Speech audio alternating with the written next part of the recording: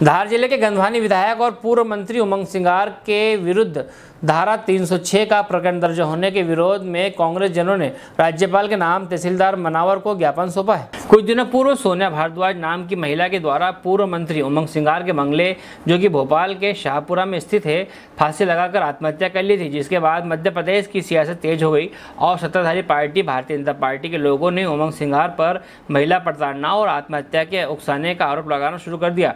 किंतु कांग्रेस ने इसे राजनीतिक षड्यंत्र बताकर अपने विधायक उमंग सिंगार के स्पष्टीकरण दिलवाया जिसमें विधायक सिंगार ने बताया कि अगर इस प्रकार के प्रकरणों में सियासत हो रही है तो सियासत का जवाब सियासत लड़ाई से ही दिया जाएगा।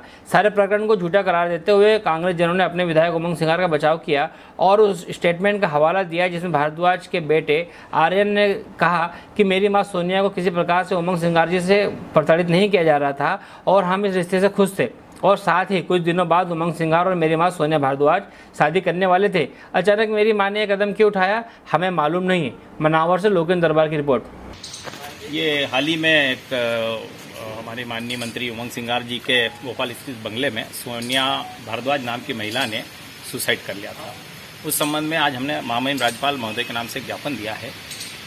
सोनिया भारद्वाज जी ने एक सुसाइड नोट दिया। उसमें प्रत्यक्ष या अप्रत्यक्ष रूप से कहीं भी उमंग सिंगार जी का कोई उल्लेख नहीं किया गया है कि उन्होंने आत्महत्या के लिए प्रेरित किया और सबसे बड़ी बात तो यह है कि उन्होंने उस पत्र में आई लव यू लिखा।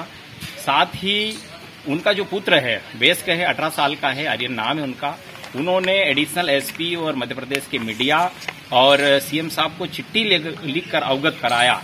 कि हम किसी भी तरह से उमंग सिंगार के ऊपर कोई संदेह हम नहीं कर सकते हैं। क्योंकि मेरी माँ मतलब जो मृतका सोनिया भारद्वाज है, उनके बीच में बहुत जल्दी शादी होने वाली थी और बहुत ही कॉपरेटिव इंसान उमंग सिंगार जी, इसलिए मेरी तरफ़ से कोई भी हम, कोई भी संदेह या कोई ब्लेम या कोई शक हम उनके ऊपर नहीं करना चाहते हैं। मृता की माता जो बुज़ुर्ग है, वो भी अंबाला से आई। उन्होंने स्पष्ट कहा कि बहुत जल्दी उमंग सिंगार जी और सोनिया जो है, शादी करने वाले थे लॉकडाउन के बाद में। इसलिए उनके ऊपर कोई भी शक करना अनुचित है। साथ ही उमंग सिंगार जी, जब सोनिया भारद्वाज जी ने आत्महत्या की, उस समय उमंग सिंगार जी अपने गृह क्षेत्र गंधवानी में थे और कोविड के मरीजों के लिए सहायता कर रहे थे। इस कंडीशन में उनके ऊपर कोई भी टिप्पणी या उनके ऊपर केस लगाना अनुचित है। आज मध्य प्रदेश शासन के दबाव में आके मध्य प्रदेश की पुलिस ने उमंग सिंगार जी के ऊपर आईपीसी की धारा 106 के तहत प्रकरण दर्ज कराने के पीछे 300 सॉरी 306 के पीछे प्रकरण दर्ज कराने का तात्पर्य स्पष्ट दिख रहा है कि कम आयु में उमंग सिंगार जी 40 साल की आयु में मध्य प्रदेश के साथ साथ ही हिंदुस्तान का प्रतिनिधित्व करने लगे। ये पहले आदिवासी नेतृत्व है उमंग सिंगार, जो आदिवासियों की के लिए लड़ाई लड़ते हैं और आज बड़ी बात है कि वो राष्ट्रीय सचिव हैं मध्य प्रदेश में वन मंत्री रहे हैं और उनकी काबिलियत को देखते हुए कहीं न कहीं आदिवासियों को डाउन करने के लिए शिवराज सरकार ने ये झूठा प्रकरण उनके ऊपर दर्ज कराया है। आपने क्या मांग की? हमने मांग की कि ये जो जो झूठा प्रकरण बनाया है जिस सुसाइड नोट में कहीं भी उल्लेख नहीं है तो यह पूरी तरह झूठा है उसको समाप्त किया जाए।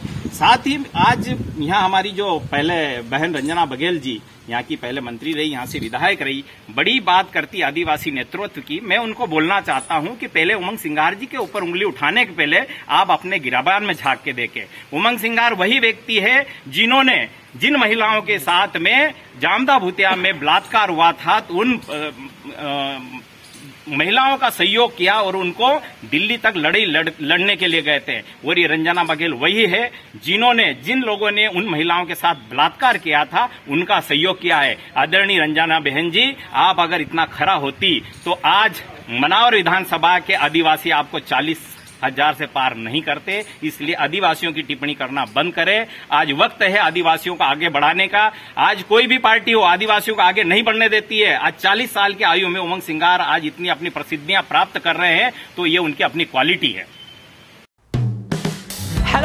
आप देख रहे हैं हमारा channel S W twenty four news हमारे सारे वीडियो सबसे पहले देखने के लिए आप हमारे चैनल को सब्सक्राइब करें और पास में लगे बेल आइकोन को दबाना बिल्कुल भी ना भूलें।